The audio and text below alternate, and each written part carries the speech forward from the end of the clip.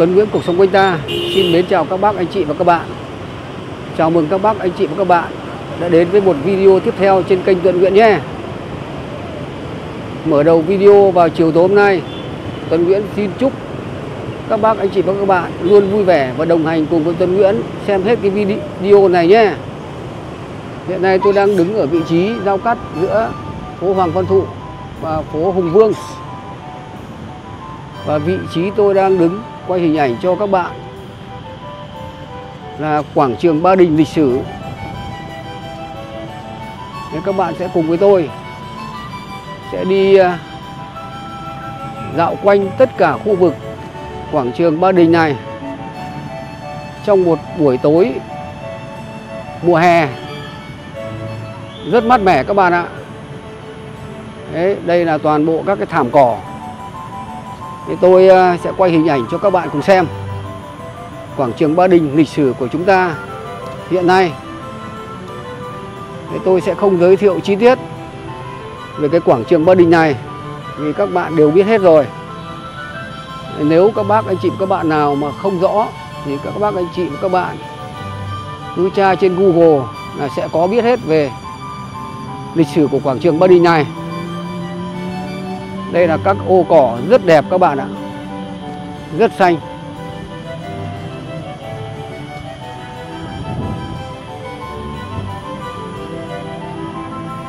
Đây, phía trước kia là nhà quốc hội. Có hai lá cờ rất trang trọng các bạn ạ. Lá cờ được à, sáng lên bởi màn hình led một lá cờ tổ quốc và một lá cờ đảng. Tôi sẽ tiến lại gần cái ờ, trước cửa nhà quốc hội để các bạn xem trong cái quần thể của quảng trường Ba Đình này có những công trình gì. Đây, rất nhiều người dân cũng đang tập thể dục ở trong này. Đấy, hôm nay thì tôi phải uh, gửi xe và xếp hàng vào để đi vào cái cổng theo quy định của ban quản lý năng chủ tịch Hồ Chí Minh. Thì vào khu vực quảng trường Ba Đình này để ghi hình ảnh gửi tới các bác anh chị và các bạn.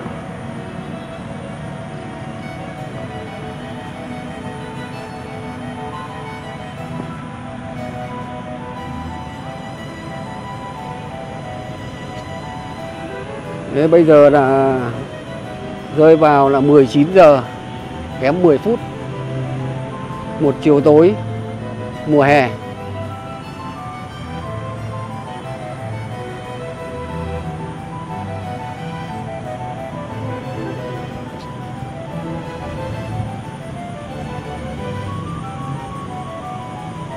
Đấy, phía trước màn hình tôi đang tiến gần đến là mặt tiền của nhà quốc hội. Nơi diễn ra rất nhiều các cái sự kiện quan trọng của Quốc hội Việt Nam.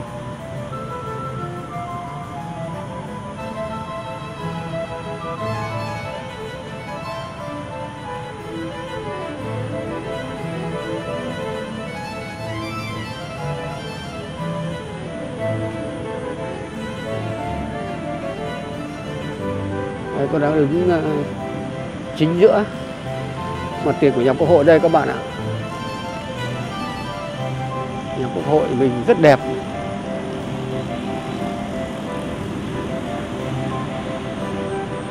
Đấy, phía trước nhà quốc hội thì à, là một con đường quen thuộc một con phố quen thuộc rất nhiều phương tiện đang lưu thông. Nhiều người đi đến đấy dừng điểm lại để ngắm nhìn vào lăng bắc Hồ. Thế tiếp tục tôi sẽ mời các bạn sẽ cùng với tôi đi ra phía trước của quảng trường Ba Đình. Có cả khách uh, du lịch của nước ngoài họ cũng đi bách bộ đây này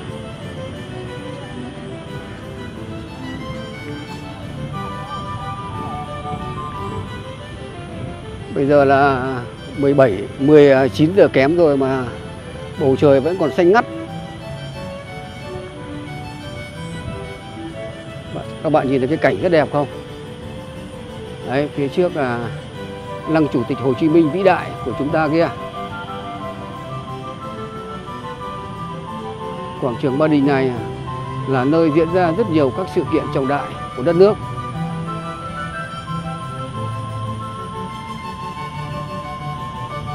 Đấy, tôi sẽ dạo vòng một quanh một vòng nhá để các bạn biết về quảng trường Ba Đình hiện nay.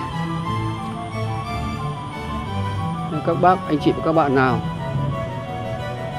mà chưa có dịp để đến với quảng trường Ba Đình vào một buổi tối mùa hè, thì các bác, anh chị, các bạn sẽ xem hết cái video của tôi nhé và cùng chia sẻ với bạn bè, người thân của mình trong và ngoài nước để biết về quảng trường Ba Đình của chúng ta hiện nay.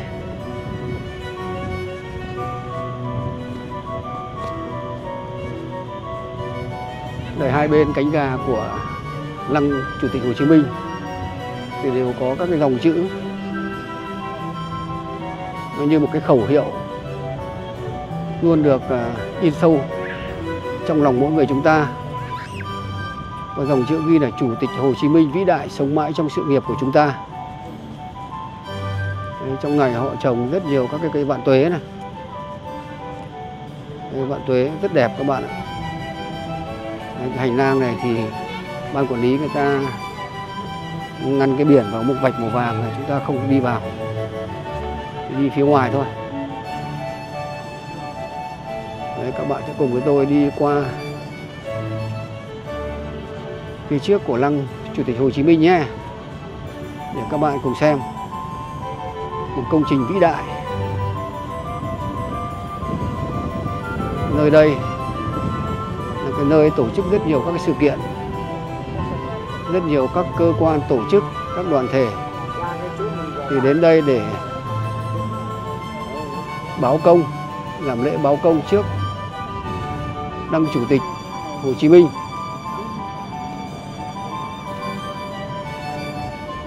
Đấy, các bạn nhìn thấy trước cửa lăng có hai chiến sĩ đứng rất nghiêm trang để canh giữ giấc giấc ngủ cho bác.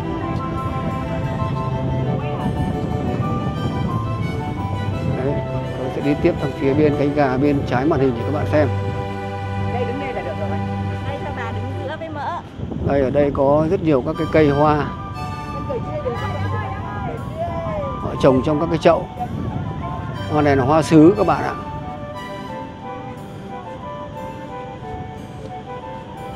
Đấy, bên này cũng là một cái dòng chữ nước Cộng hòa xã hội chủ nghĩa Việt Nam muôn năm được lắp trên cái hàng ghế của lễ đài bên trái.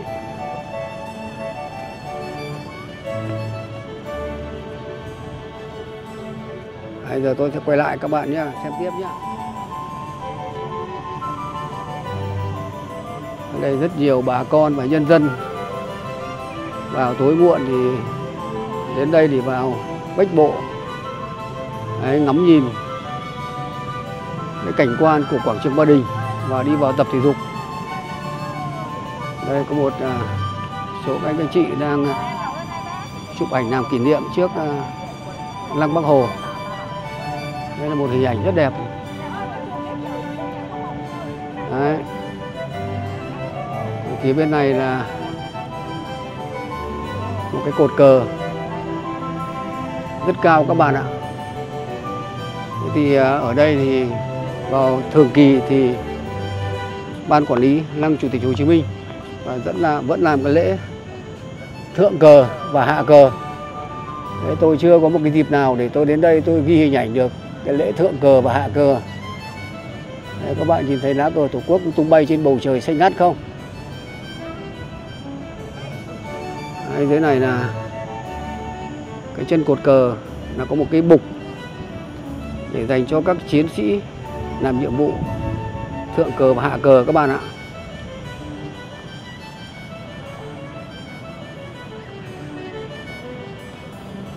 Ở phía trước này lắp rất nhiều các cái cột đèn trang trí, ở trên lắp các cái quả cầu. Thì tôi biết các cái cột đèn này là được sử dụng chân đế bằng cột gang đúc và trên là thân thép. Và được trang trí rất nhiều các cái tay cung son để treo cờ phướn vào những ngày lễ Tết. Đấy, phía trên là có 2, 4, 6, 8, 9 quả cầu các bạn ạ. Đấy, 9 quả cầu được thắp sáng. Thì cái cột này thì cũng là một cái sản phẩm mà cách đây cũng khá lâu rồi. Thì tôi cũng biết cái hàng cột này là được à, công ty chiếu sáng và thiết bị đô thị Hà Nội là công ty Hapulico đã cung cấp lắp đặt cho cái công trình quảng trường Lăng, Chủ tịch Hồ Chí Minh này.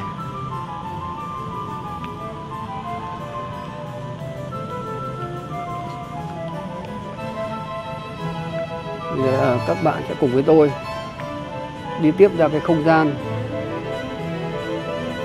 phía bên phải của lăng Chủ tịch Hồ Chí Minh nhé.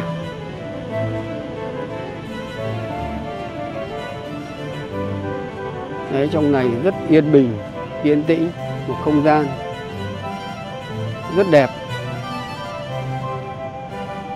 Đây có cả đôi bạn trẻ mặc áo dài vào đây này, đi dạo bộ và đi chụp ảnh trong này.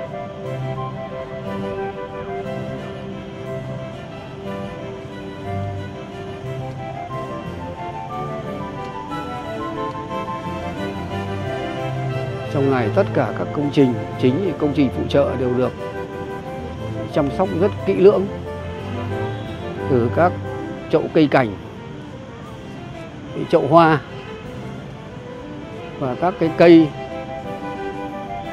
mang tính chất nguồn gốc xuất xứ của Việt Nam đều được trồng ở đây. Đây, trước mặt các bạn đây là cái, một cái rặng tre, một cái biểu tượng của Việt Nam các bạn ạ gọi là cây tre Việt Nam luôn dẻo dai và sự bền bỉ. Đây cái hàng tre này rất đẹp này. Trong này à, ban quản lý người ta lắp các cái à, đèn chiếu sáng hắt lên làm cho cái dặng tre buổi tối đấy đẹp thêm. Đấy, tôi nhìn rất nhiều các cái đèn pha nhá được lắp từ cái gốc của các bụi tre được chiếu thẳng lên trên. Đấy, trông rất đẹp đây có các à, đồng chí cảnh vệ đang đi à, tuần tra canh gác xung quanh khu vực quảng trường Ba Đình.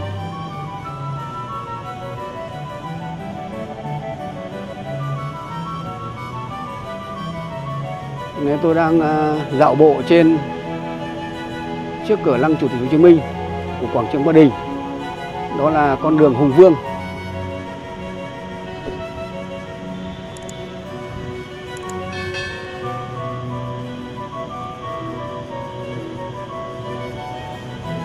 Còn phía bên trong kia là cái khuôn viên của phủ chủ tịch các bạn ạ.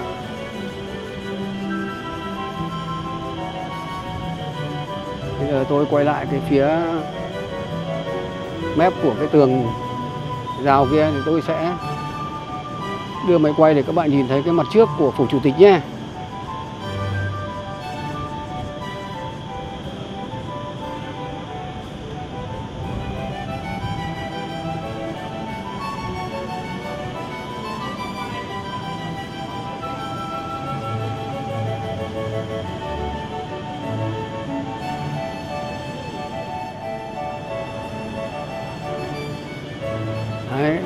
Hai cái cổng lớn này, cổng chính của phủ chủ tịch. Được sơn màu vàng truyền thống. Đấy, kiến trúc này là kiến trúc của thời à, kiến trúc này mang phong cách của kiến trúc Pháp các bạn ạ. Đây là một cái di tích lịch sử cũng rất là giá trị. Đấy, các bạn nhìn thấy không? Đấy là phủ chủ tịch nhá. Đây, còn phía trước màn hình các bạn đang xem là đường Hùng Vương. Và đi thẳng tiếp ra kia là chúng ta sẽ đi giao cắt cái phố Phan Đình Phùng. Và đi ra Hồ Tây ra đường Thanh Niên. Đây còn phía bên này là đường Hoàng Văn Thụ.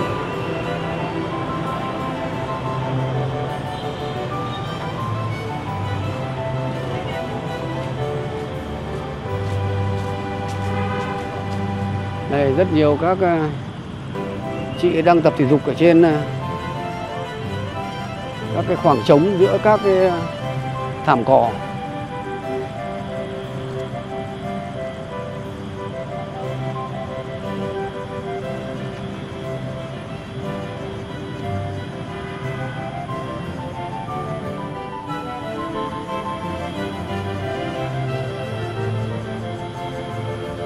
Tôi sẽ đưa máy quay toàn cảnh nhé, để các bạn nhìn này về cái không gian rộng lớn của quảng trường Ba Đình.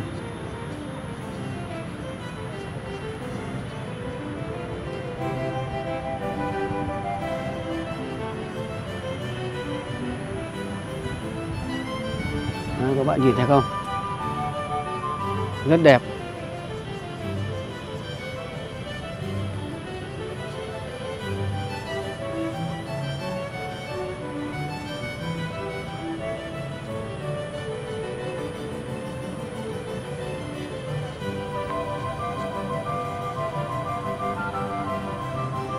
Tôi tiếp tục dạo bộ nhá.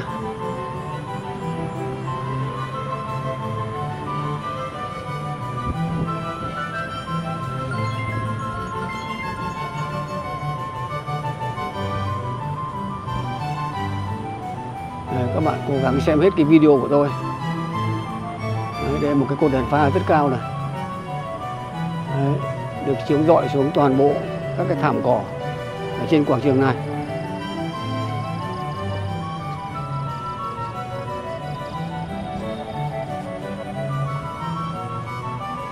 Đi qua cái cột cờ và qua phía bên tay trái của lăng chủ tịch Hồ Chí Minh. Tôi xin được dừng cái video tại đây.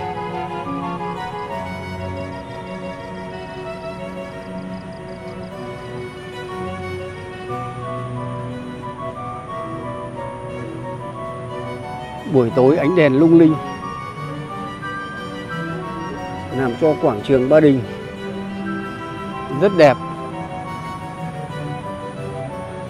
Đấy, tôi đã tiếp tục quay từ xa mặt tiền của nhà quốc hội để các bạn cùng xem.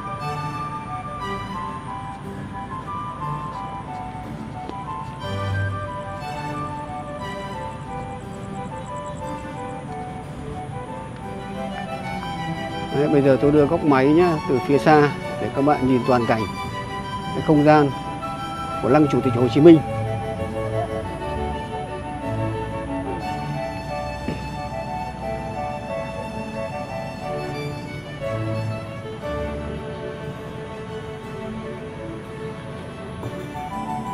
Nhìn thấy đẹp không? Bây giờ tôi tiến ra đây.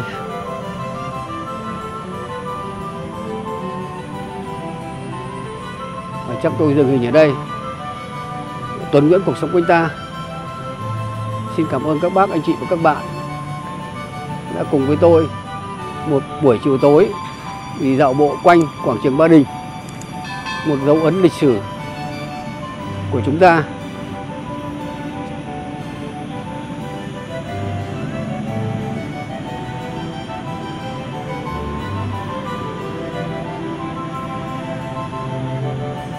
Xin chào và hẹn gặp lại, gặp lại các bạn trong các video tiếp theo.